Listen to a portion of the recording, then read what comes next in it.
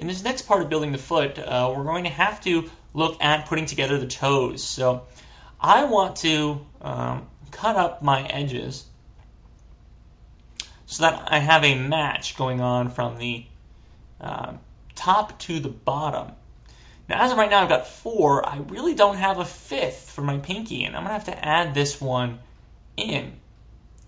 That means I've got a missing edge here on the side, and I'm going to have to add that in as well.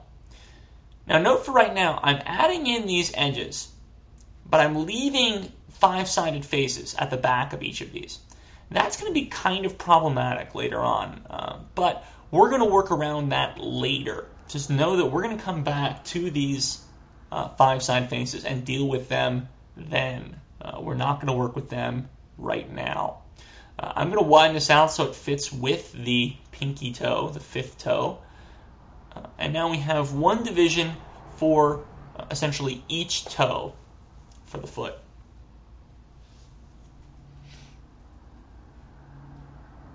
And like I said, these problems are going to come from the uh, five side faces that we have. Uh, but are several ways to eliminate these back, uh, and that's what we're going to work on next here. I can cut this in with an extra uh, split polygon tool uh, in either direction, or I can bring the next one down and close this off, and you notice what happens now. Uh, what was three faces turns into two, and then eventually into one. And that's a sort of general pattern that you really want to look at using uh, as one of two different strategies for eliminating out extra faces as they sort of play back onto the foot. So that idea was that I kind of used my split polygon tool as I would say essentially a gate, um, shutting off two into one section. Uh, and again, three faces go to two, go to one. Again, soften my edges here.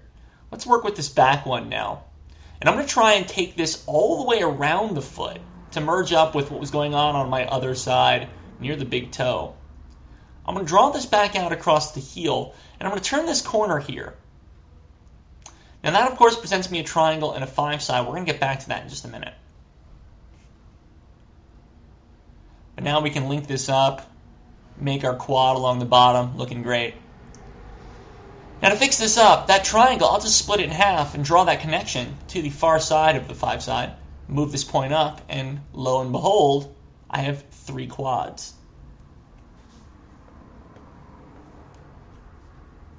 We'll be doing that construction um, quite a bit more as we finish up this foot as well.